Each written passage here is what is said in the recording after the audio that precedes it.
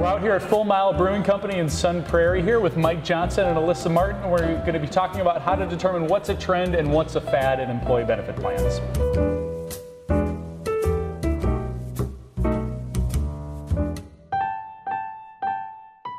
Topic number one, pet insurance.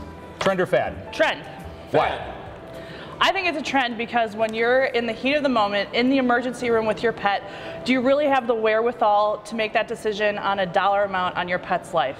If you have pet insurance, you have a deductible, and you know your pet's going to be taken care of. Good point. Good point. My fad is because of math.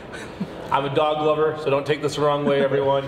But here's a statistic that everyone uses. A vet bill, a pet owner will face a vet, vet bill of $1,000 or more every one second. So it sounds scary, but when you back the math out, there's about 185,000 dogs and cats in this country today. That gives you a 3% chance of hitting a $1,000 plan or not. You have to do the cost benefit ratio to figure that out. Makes sense. All right, topic number two benefit decision support technology. Trend. Trend as well. Okay. Um, I think it's a trend because if you have a company that has multiple locations, it's a great way to get the communication out to everyone. And also, if um, you know you don't want to ha- make your employees make that decision on the spot, you want to give them the opportunity to take it home, view the benefit plans with their families to make their decisions. Makes sense. I'm saying trend just because access to information and technology is only going to improve. We're just on the precipice of really having this take off. It's a trend.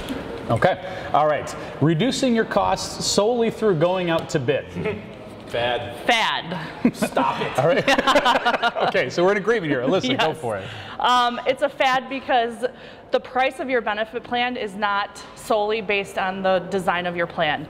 It's based on the environment around your plan, how people utilize it, how they take advantage of it, and you want to look at that before you look at changing any types of your plan. Makes sense. Agreed. What you said next. Okay. Student loan repayment. Here's a hot topic.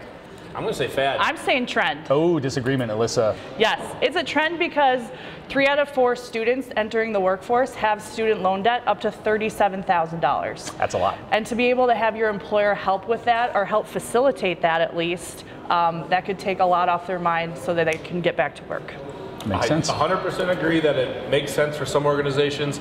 The reason I'm calling it a fad, adoption is not very high right now outside of Fortune 100 companies, simply because of taxes. You don't get a benefit from offering a, a student loan repayment as you would a 401k or traditional benefit plan. It's taxable income, therefore there's not a big advantage for companies to offer. That's why I call it a fad. Makes good sense. All right, this is one we've been hearing a lot about lately genetic testing as an employee benefit. Trend. Trend. Okay. Um, I think it's a trend because it can only help with early detection of any kind of genetic diseases that you might Yeah. have. And with the GINA Act of 2008, all of that genetic information is private and your employer can't use it. So you're safe and you get to learn more about what could be affecting you in the future. sure. I'm also seeing trend. It's very, very early in this benefit, and we don't 100% know how accurate it is. The medical community is fairly convinced that you're giving uh, employees very sensitive information that they may or may not be able to handle. Just because you genetically test higher level of potential cancer doesn't mean you have a diagnosis. Still a trend to watch, a lot to go through. Yeah, makes sense. Here's one that I know a lot of people probably have struggled with in the past uh, infertility benefits. What, what about that? Trend. Trend. Trend? Okay. Yeah. On average, infertility benefits can cost up to $23,000 for couples. Um, and if your employer can help with that, I think it's going to be a really attractive benefit. A study showed that employees are four times more happy with their employer if they know that they're taking care of them and their families. And I think this can really add to it. Wow.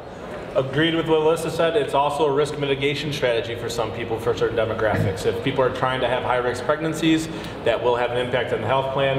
Therefore, they're being more open to looking at covering infertility treatments that generally are not covered. Sure. Makes sense. All right, last one we've got here reference based pricing. Trend or fad? Trend. I'm going to go fad. Oh, disagreement. Alyssa. Yeah, I think it's a fad because even if hospitals do adapt to this, they're only getting a percentage of what Medicare pays, and even if that's 200%, it doesn't make up for the cost that they would be charging. It also puts a huge responsibility on employees to take care of them, to take ownership of their health care. Okay. And I just don't think employees are ready to adapt to that. Sure. What do you think, I'm Mike? calling it a trend because people are sick of rising costs of healthcare, and she's dead on with the points that she brought up. People are willing to f- fight that fight. However, asterisk alert, um, there is a Supreme um, Appeals Court hearing on reference-based pricing. And if that goes the way of the providers, the providers are basically saying this should be illegal, it's a breach of contract, blah, blah, blah. That is going to basically determined which way reference-based pricing goes. Are we trending or is it going to be a fad overnight? We don't know yet. Pay attention to that. Interesting. Well, we've got about 100 more of these to go, but alas, that'll be another video for another day. Um, to, to, follow up on this, Mike's going to be writing an article soon talking about how to craft an intentional benefits program because really whether something's a trend or whether something's a fad really depends a lot on your philosophy as an employer and how you choose to craft your benefit plan. So check out the link below to, to that article and you can read a little bit more about that here. It'll be good. Uh, yeah, it'll be real good. Um, so next week when we talk, we're going to look at once you've crafted a fantastic benefit plan, how do you communicate that to your employees? Because employees generally don't necessarily like engaging with benefits because it's confusing and time consuming. So how can you communicate that value to your employees? That'll be next week's episode here. So in the meantime, be sure to like us on LinkedIn, follow us on Facebook, and subscribe to our videos on YouTube to make sure you're in the loop here. Guys, thank you for coming out. Cheers. Yeah, cheers. Prost. Prost.